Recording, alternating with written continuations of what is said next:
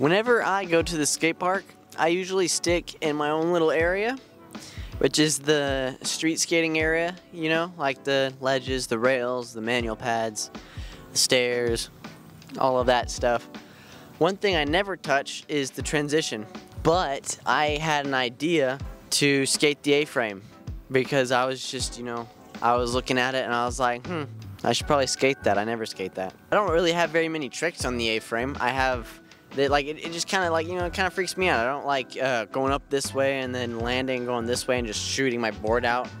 Um, I would prefer to keep my to you know keep it flat and figure you know from one flat ground to another flat ground or just keep it flat or like a like a rail that goes kind of down or something like that or a hubba or a, just uh, A-frames never really interest me. But uh, I decided that I should probably venture out a little bit and get better at my uh, transition stuff but I don't even know if A-frames count as transition. They probably don't. And also I, I just I suck at A-frame skating so I decided to go skate the A-frame and at the Colony Skate Park obviously because I don't skate anywhere else. So I had a list of tricks I wanted to do.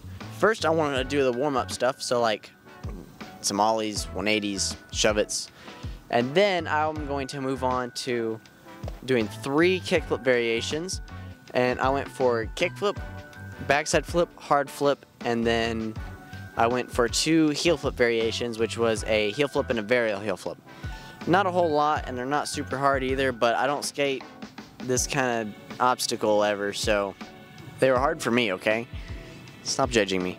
Anyway, I started off with the basic tricks. It was, uh, you know, some 180s and shove-its, and then I moved on to the kickflip, which were all relatively easy.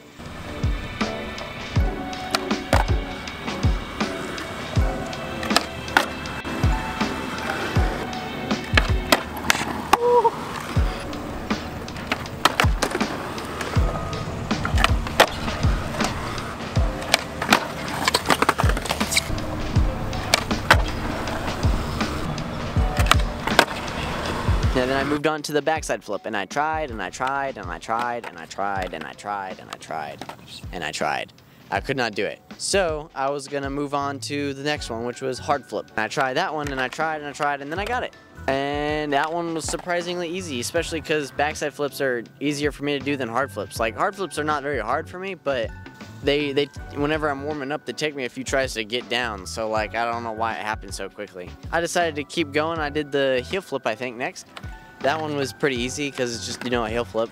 I don't like heel flips because I always primo on them for no reason, but it was relatively quick because they're they're just annoying because I primo a lot. That's, I can't not do them. I just uh, I just don't like them. After the heel flip, I decided to go back to the backside flip, and for some whatever reason, it just clicked, and then I did it. And now for the hard, the trick that I knew was already gonna be hard. Like I can do varial heels, just I don't do them very much. Same thing with the heel flip, just slightly, I'm just slightly less good at them. I know I can do it, so I went for it. And I tried and I tried and I tried and I tried and I tried. I could not seem to get that one either. But then I tried again, and then again, and I tried again, and then again, and then I got it. But there was a little hand touch on the on that one, so I tried it again. Uh, but I had one try left because it was starting to sprinkle, and I didn't want my camera to get wet. So I gave myself one more try, and if I landed it, I landed it. If I didn't, I didn't. And I kind of stuck it, and then got thrown off. So that was the end of that.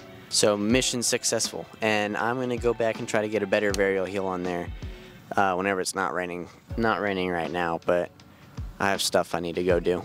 Whenever I go skate again, I'll try it again. Click on this video or this video and go enjoy that one. I'll see you later.